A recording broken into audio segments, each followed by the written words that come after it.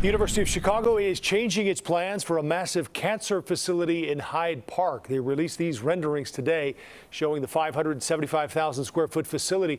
It's expected to cost $815 million. U of C says they changed the design after getting feedback from patients and Southside residents as well. This would be the city's first freestanding cancer facility. It aims to consolidate care that's currently spread across five buildings on the Hyde Park campus.